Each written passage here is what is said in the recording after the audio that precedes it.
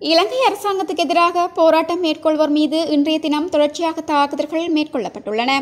அந்த வகையில் தற்போது மைனா கோகம போராட்டக்காரர்கள் மீது தாக்குதல் மேற்கொள்ளப்பட்டுள்ளதாக தெரிவிக்கப்பட்டுள்ளது.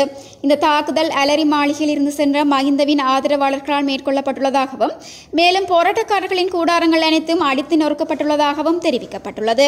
கொழும்பில் தீவிரமடைந்த போராட்டத்தால் உடன் நடைமுறைப்படுத்தும் வகையில் ஊரடங்கு சட்டம் பிறப்பிக்கப்பட்டுள்ளது. இதற்கமைய கொழும்பு வடக்கு கொழும்பு மத்தி மற்றும் கொழும்பு தெற்கு ஆகிய காவல்துறை பிரிவுகளுக்கு உட்பட்ட பகுதிகளில் இவ்வாறு ஊரடங்கு சட்டம் பிறப்பிக்கப்பட்டுள்ளது. கொழும்பு காலிமுகத்திரலில் தற்போது ஏற்பட்டுள்ள அசாதாரண சூழ்நிலையை அடுத்து இவ்வாறு ஊரடங்கு சட்டம் நடைமுறைப்படுத்தப்பட்டுள்ளது.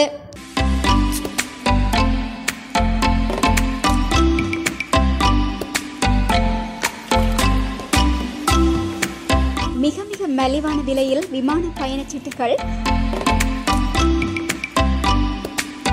மற்றும் சகல நாடுகளுக்கான விசா ஒழுங்குகள் பயண காப்புறுதி செய்து கொடுத்தல்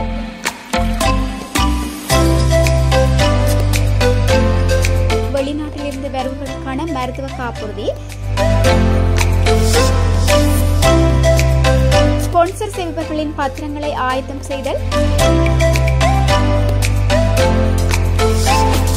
மற்றும் பயணம் தொடர்பான அனைத்து சேவைகளையும் எம்மிடம் செய்து கொள்ளலாம்.